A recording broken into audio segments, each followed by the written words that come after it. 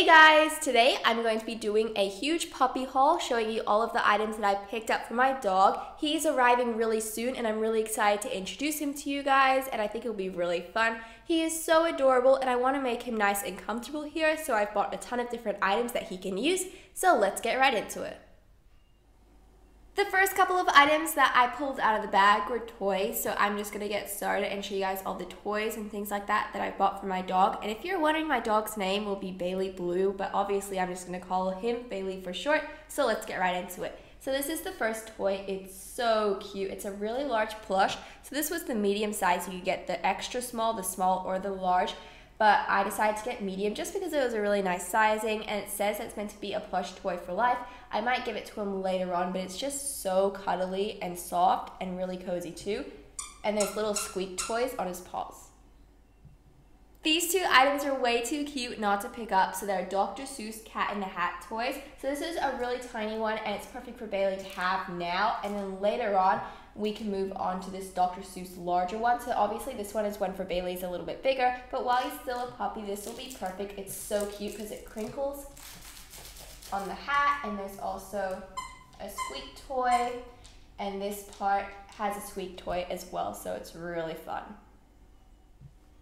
And the same thing with this character, I decided to get the smaller one for Bailey when he's a pup, and then when he's a little bit older, he can use this one. This one has knots, so it'll be a lot easier for him to grip on, which will be great, and I'm pretty sure there are squeak toys on here as well.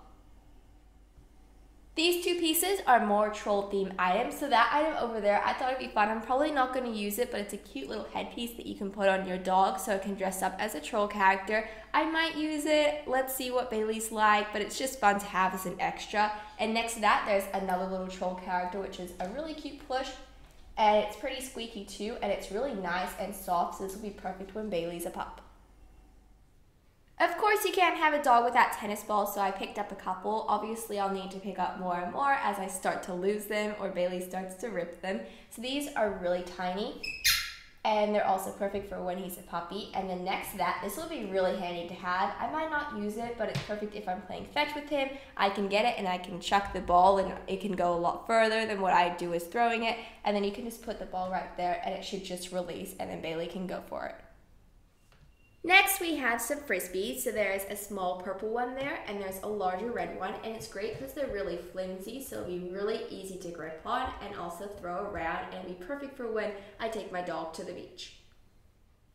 The next two items here are quite important to have, so they're really cute little accessories. They're from Kong Puppy. So this one's a little treat thing. So what you do is you put the treat inside and the dog has to try and get it out. So it's a really good challenge for them.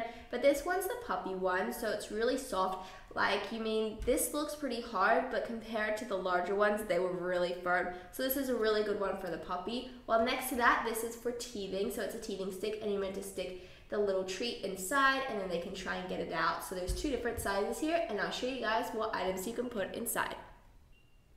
These are the little treats and they come in little Kong snacks bags. So this is the first item. It's just a regular puppy recipe and you can see that you just have to place it in there and they'll be able to chew on it.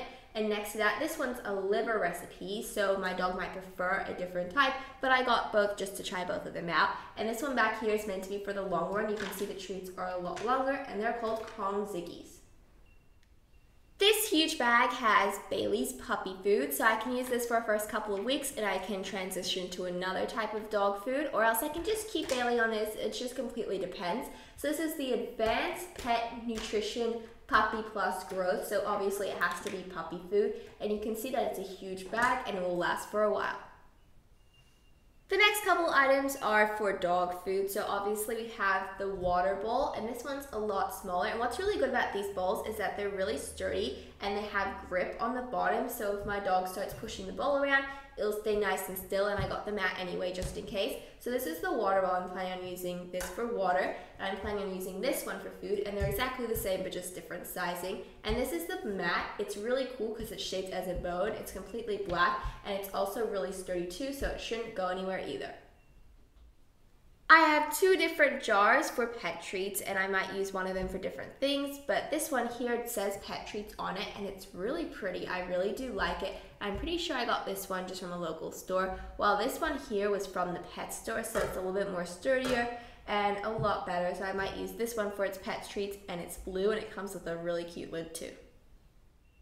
These two items here are brushes. So this one is a cushion pin brush and this is what it looks like. It's silver and it has a great handle too.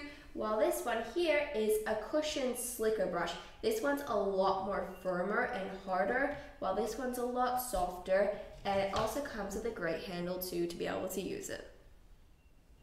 Here we have a bottle full of shampoo, and obviously this will be great to have when I wash Bailey, and this item came for free with it. It's a little spritzer that you can spray on Bailey too.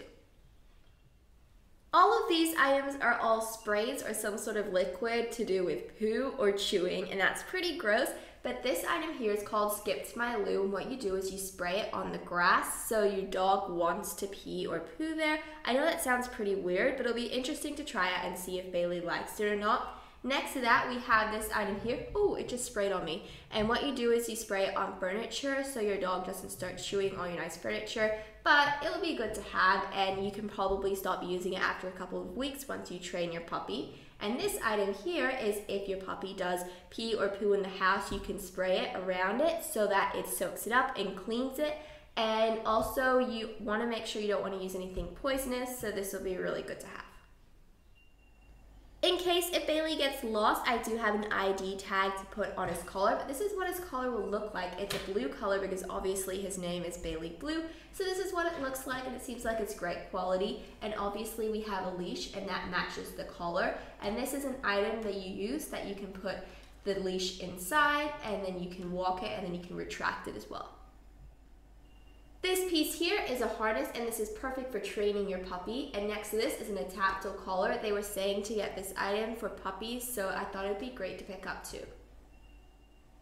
All of these items are related to walking my dog. So the item at the end there is a treat bag. I don't have to use that for walking my dog, but in case I need to take it out and I need to bring treats, that's really good because you can close it and open it too so it won't spill out. And the coloring's really pretty too.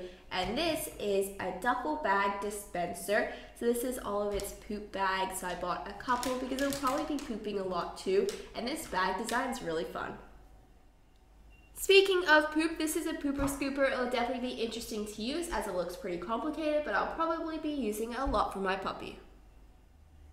Winter is approaching in Australia and it gets pretty cold here, so I have some puffer jackets. So obviously this will be used when Bailey is a lot larger and older, and I think there's two different parts, so I don't have to use both parts, but it'll be really cozy and warm. And this one here is quite cheap, but it'll be perfect when Bailey's a little puppy, and it probably won't be using this one next year, it'll probably be moving on to this one.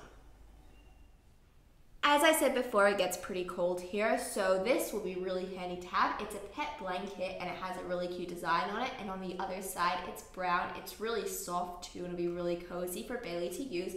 And this is a microfiber drying towel for puppies. So when I give Bailey a good wash, it can use this. This item is a bench seat cover, so basically you can put it in your car if your dog's gone for a swim at the beach or at the pool. And this is what it looks like, just to show you guys the dog sitting here and it's all strapped into the car. And if you're wondering, this is the material. It's quite soft, but it'll be pretty easy to wash, obviously, as your dog comes in wet or really dirty.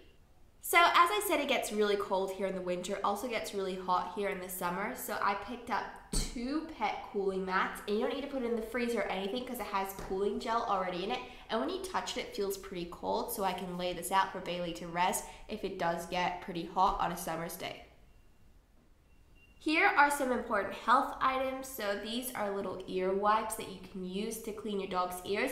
And we get a lot of ticks in Australia. If you don't know what ticks are, they kind of dig into your dog's skin and it's really dangerous for them and it's not great for them to have. So these are kind of gross. They're little tick twisters and you have to dig them in and get them out.